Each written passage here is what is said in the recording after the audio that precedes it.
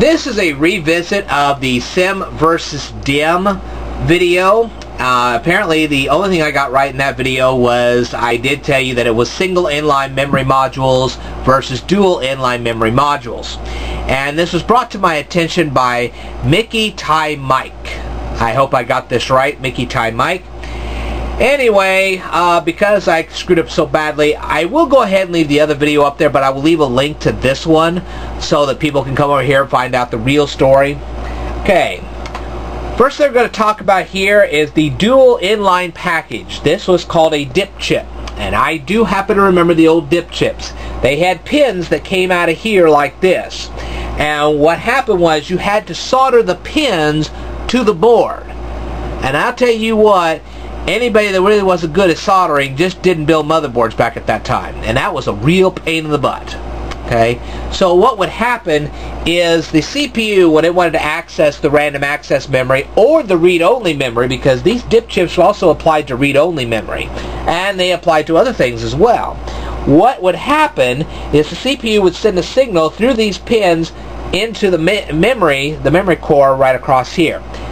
Now, I'm sure if you really look to some of your older calculators or very old computers, you'd still find these dip chips.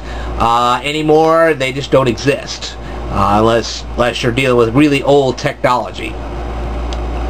They have since been repl replaced with single inline memory modules. And, of course, these single inline memory modules were then replaced with dual inline memory modules. Okay, the reason for this is, like I said, if you wanted to add new memory to a computer supporting dip chips, you had to solder it in. What a pain. Well, they changed the pins to a uh, metallic strip. And so instead of having a whole bunch of pins you had to solder in, you had this metallic strip and you stuck it into this special slot.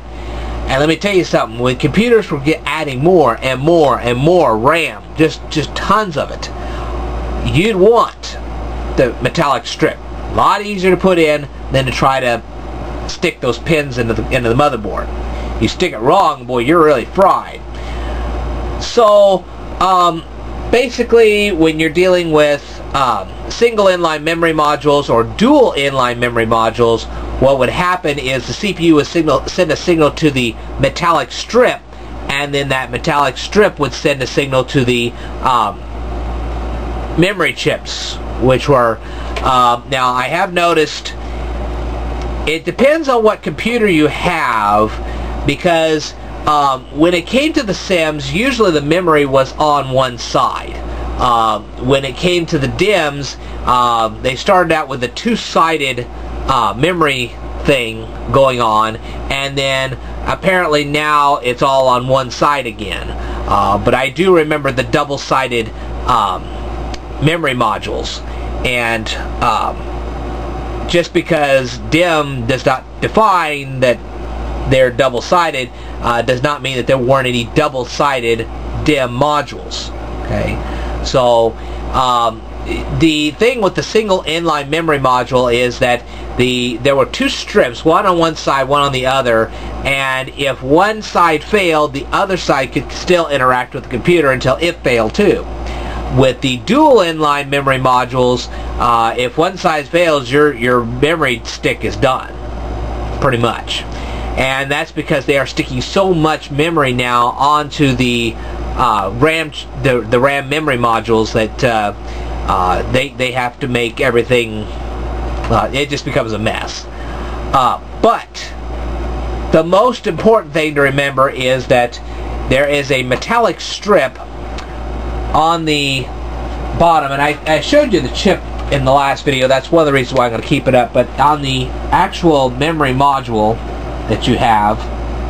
And this is kind of a more modern memory module. You'll see right across here.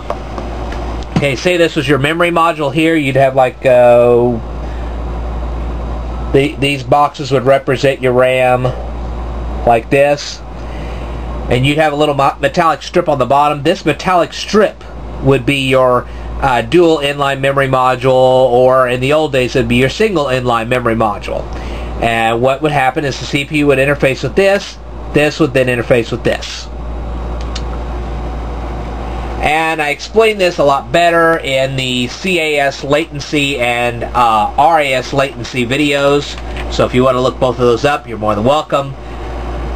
Anyway, I hope that cleared everything up for you. Just remember that the SIMMs and DIMMs were an evolution from the original DIP chips, which you actually had to solder onto your motherboard.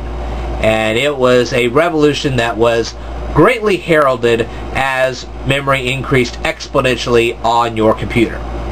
Okay, hopefully I haven't confused you too much. Um, I will say that um, there are single-sided RAMs. You'll find chips on one side and not, not the other. Then you'll have your double-sided RAMs. The double-sided RAMs started appearing about the same time as the dual inline memory modules appeared. That's where I got the confusion from. And hopefully that cleared everything up. And if there are any questions or comments, just leave them down below. Thank you for staying with me, and I apologize for my earlier stupidity. I will tell you more in a future video, so stay tuned.